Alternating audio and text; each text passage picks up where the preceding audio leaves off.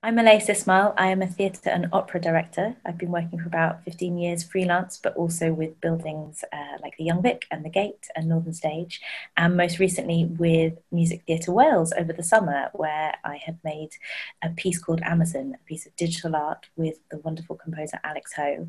And this started our, my relationship with MTW as an artist. And um, from that, I have now become an artistic associate and will be leading on the New Directions programme and the brilliant thing about this program is it will address the urgent need in opera to diversify experience and voices and the types of people who engage with opera, but also crucially the people who make opera. Through that, we'll be having lots of discussions about what the future of the art form can be and how different artists can work well within it and help push the boundaries and the scope and scale of the art form.